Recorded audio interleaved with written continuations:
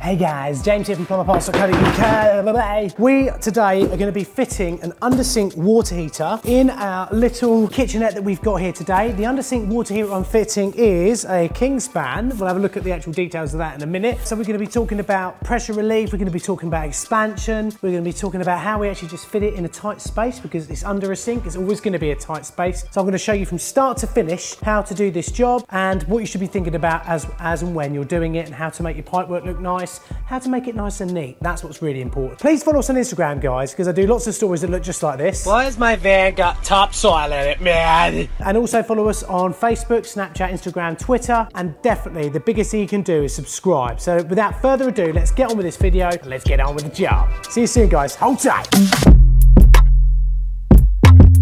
So first up, before we begin, let's just unbox this lovely little water heater we've got here polystyrene, typical, get that out of the way.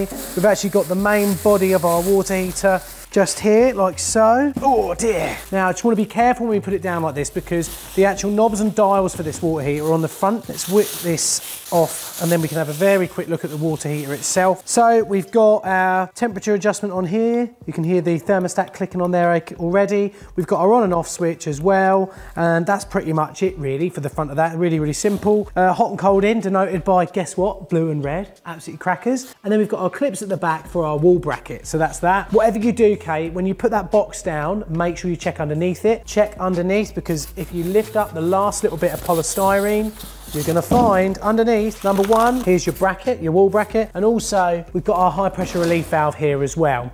Just wanna briefly cover the two types of kit that you can get with this particular water tank. So we've got the kit for mains pressure that is up to 4.1 bar on the incoming. And all you get in that kit is your high pressure relief valve, which is what this little beast is here. If your system has got a pressure of above that, if it's above 4.1 bar, you're gonna get a little two litre expansion vessel like we've got here. And you're also gonna get a pressure reducing valve. You also get a check valve as well, guys. So that's a non-return valve in normal parlance. So now we know what we've got here. I can talk about the actual connections and the bits you need to get to make sure that you can actually start to install this. Now guys, because I've done a water pressure test on here, and I know that it gets up to about seven bar at night, which is pretty high. Just in case here, I'm gonna be popping this little Caleffi on and that should be fine. So what we need to do, although they've supplied all this stuff here, they've supplied the bracket and they've supplied all this little bits and bobs here, they haven't supplied the irons, okay? So what we need to do is we need to go out. I usually buy one more iron than what I need, and then when I get to the next job, I've got an extra iron in the van that I can use on the next one. So you're gonna need, I think, three female irons to 15 mil and three male male irons to 15 mil as well. So I'm gonna pop these all on now using my usual bit of Loctite. What I'm gonna do is make up all the fittings that I'm gonna be using on this job right now, and then I'll be able to go to the under sink area. We'll talk schematically about what we're gonna do, and then I'll show you the actual area where we're gonna be fitting it and how we're gonna be doing it and how my thought process is of carrying out that fitting and doing it.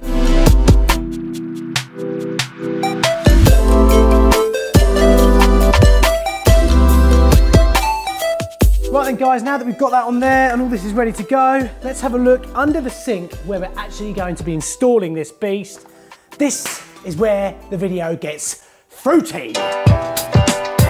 Hey guys and welcome to my humble abode we need to think about a few little things here. Now, a water heater doesn't weigh a lot when it's empty, but when it's full of water, it can weigh quite a few kilos. So usually I'd go for trying to mount it on the side bit of wood because it's a, usually a lot thicker. As you can see, I've already first fixed our pipes here. So we've got our cold here, this is our cold main in that way, and then we've got our hot back out this way, okay? You may also, of the beady-eyed nature of beasts who are watching at the moment, have noticed that I'm feeding the hot pipe up to the tap here in the kitchen sink, but I'm also running it round as well to the small little toilet that we've got next door where I fitted that Vitra toilet a few weeks ago. So let's have a little think about the considerations that you need to sort of think about, worry about when you're doing this sort of job. Number one, these. These are the first things you need to look at. Have a look at where your electrical supply is going to come from. Have a word with your Sparky to make sure that you can get everything sorted out and that it's going to work okay. The instructions for once are pretty comprehensive. Uh, they come out pretty well. They're not complete gobbledygook. They give you really good dimensions for the widths of a 10 and 15 litre one. So if you're not sure, you can go online and find out the sizes of these already. I've matched them up just now and they are pretty much bang on. So there's nothing much to worry about there. So what we want to have a look at mainly from a plumbing perspective is obviously this bit here. Now there is a small problem that we've got with this install here and I'm going to rectify it by putting our pressure reducing valve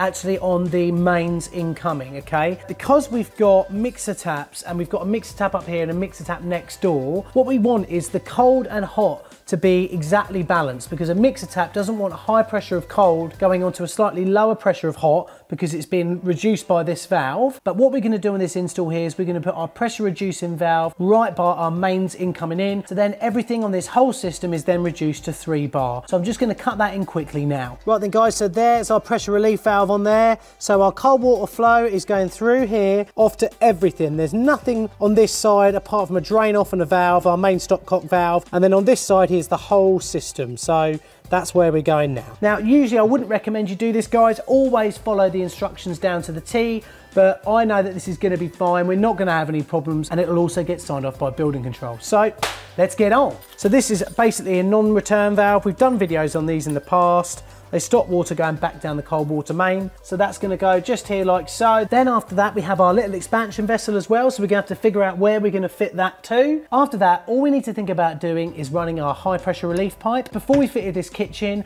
I've run a little bit of 22 mil out under the kickboard. So what I'm hoping to do is when I hang this beast in here like so, tuck it to the back a bit and then run down here, put my tundish nice and high there, and then run this down through the floor, link up with the 22 mil that I've got going outside side and then that should be fine. That's perfectly compliant. There's nothing wrong with that. The reason I haven't gone for a Mac valve is because the waste here, this is the sort of lowest point of the waste at this end, and that's really too high for us to get our 30 millimeter drop before our first bend on the PRV.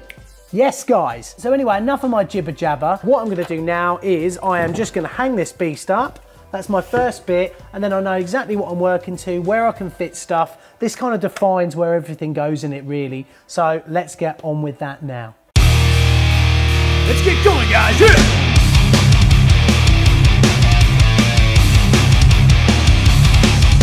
I usually mark my pop runs first, and then I put my clips straight.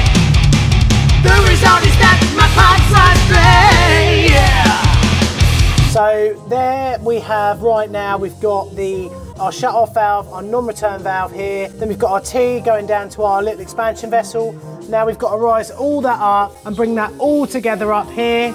Oh my God, yeah, we're getting ready for some plumbing.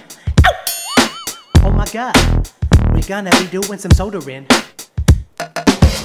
I never knew that soldering could be this much fun. I never knew that soldering could be so relaxing. I never knew that soldering could be this much fun. I never knew that soldering could be so relaxing. Right then guys, uh, so we've got everything done. We've got all our water in. Before I do my high pressure relief, I just want to test that all my connections are okay. Uh, it's just something I like to do now. So we've got the water back on, as you can hear. Hopefully you can hear that. As you can see, I've brassoed all my pipes, made them all look nice. I did that before I actually put the whole tank in. So now that we've got our cold fully on here, we've checked for leaks everywhere, everything is okay. I can open up my hot just here. I'm just gonna half cock that a little bit. Yeah, look, there we go. We've got hot, well, we've got water coming out the hot side now. Uh, also, if I just, whew, if I just hop up here, Kingspan to see someone installing, oh, there we go, two of these on there. So now we've got hot purging through here as well. Lovely, really, really pleased with this. It's going really well. I'll tell you what though, the space for filming, look at it. Look at that space. It's tight. So yeah, we're just gonna get everything sort of switched off now really and make sure everything's okay. Then get the Sparky over here, get it all wired up and then I can show you just how hot one of these beasts can go. So then guys, another day, the Sparky's been in and done all the wiring stuff, so we've got a nice little plug up there with a few spur ready to go. Tucked up quite tight, but that's the place he said it should be, so there we go. Um, what I'm gonna do now is just get my high pressure relief sorted out. We've still got the water off from our pressure test yesterday, so that's all okay. So I'm just gonna pop this off. We're gonna link up to our pipe that's underneath here that runs just outside and pops through the wall and then just terminates normally like a standard high pressure relief. So let's get drilled and go.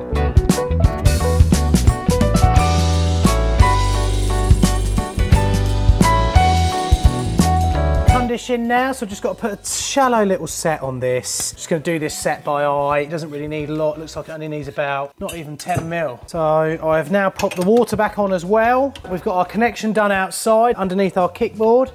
So that's all done. Go one there. I have like a, a shallow set mark on my benders. I've got to say, guys, I'm so glad I got Hilmors back. That's how it is. And I just know Hilmors, don't I? They're what I've used since I was an apprentice. He says he knows Hilmors. I'll probably get this set wrong. So we're just gonna get these in now, and then I'm just gonna test everything for leaks. Then we're gonna test operation. Just gonna give that a light nip up. There we go. Next thing I usually do when you've got your water on, just test your tundish, make sure it's all okay, and obviously test the pipe work that you've got running outside. So just run a bit in there, that's absolutely fine. Yeah, that's running away perfect. So I'm just gonna go and check underneath and make sure that's all all right.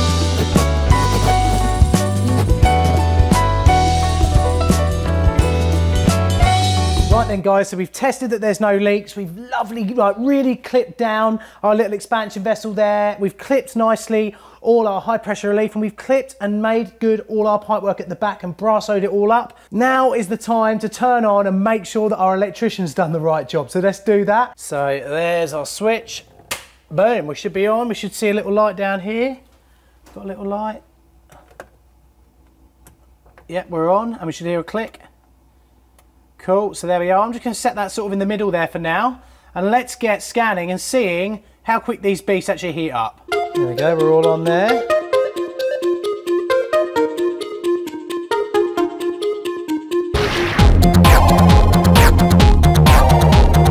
To open up this hot tap. There we go, that's on. We should see that top pipe getting hotter. Yeah, look at that. You can see that now, can't you? This is literally just an excuse to use this FLIR camera because it is so cool. Going all the way up there. How wicked is that? That is so cool. Nearly 40 degrees coming out, 35 degrees there. And what we got coming in, 21. That's only after a couple of minutes. In a few more minutes time, that should be hot enough for me to wash up the cups here. Right then guys, we've had it on for a few minutes now, so let's turn the beast on. It should see, oh yeah, we've got the steam. We got the steam. Hell yeah! Right, so my next job now is to quickly clear up all the plates and cups. Then I've got to put the doors back on, um, and then that's pretty much it. I'm going to probably get this set to temperature because at the moment, that's, that's pretty warm. So I'm gonna get that set so we put a little stick on it, make sure that you're around 55 degrees. That's kind of what I aim at for hot water temperatures. Thanks ever so much for watching today's video, guys. If you've got any questions, comment in the comment section below. And obviously, please like this video. And if you don't like it, tell me why, guys. Pop over to Kingspan's website as well. I'll leave a link to that in the links below so you can have a look at their water heaters or whatever you want to look at. Please follow us on Instagram. Remember, I've been doing loads of Instagram stories. You can see them just looking like this. Pray for me. People are not there for me. Well, yeah, yeah. So there we go. And obviously follow us over on Snapchat, Facebook and Twitter as well. But Instagram's where it's at, guys, for me at the moment. I love it there. So anyway, thanks ever so much, guys. Follow my vlog as well if you want to find out what happened to me in Chernobyl, also in Barcelona. And I'll see you in our next video. Thanks ever so much for watching. I said that so many times now, haven't I? Oh, yes, I have. Anyway, I'm going to put my pinny on and get on with this. Hold tight! Yesterday, baby, I had nothing under my sink. But now I've got almost everything, yeah. Now I can wash up the cups and the cutlery. Knowing that my Kingspan water heater will be there for me. So let's sit down, some lunch. There is some meat in, really not much. And who really cares about a ball and fall? Because washing up won't be a chore anymore.